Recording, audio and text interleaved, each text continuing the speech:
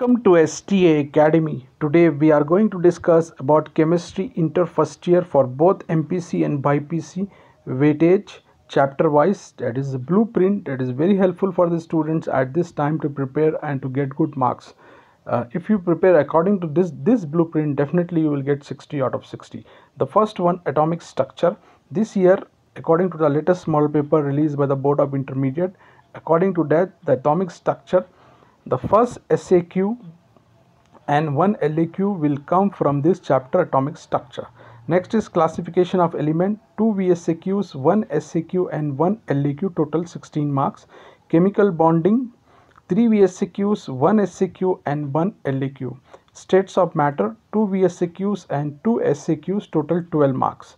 Stoichiometry, 1 VSAQ and 2 SAQ total 10 marks thermodynamics 1 VSAQ and 1 SAQ total 6 marks chemical equilibrium 1 VSAQ and 2 SAQs hydrogen and its compound 1 SAQ total 4 marks S blocks element 2 VSAQs total 4 marks P block group 13 element 1 SAQ 4 marks P block group 14 element 2 VSAQ and 1 SAQ organic chemistry 1 VSAQ 1 SAQ and 1 LAQ so this is about the weightage of chemistry first year.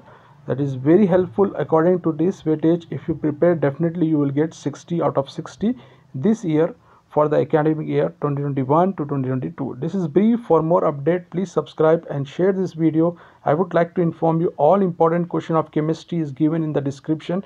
Check the link in the description we have given all VSAQs, SAQ, LAQ that are very helpful for you to prepare. This is brief. For more update, please subscribe and share this video with your friend. Thanks for watching.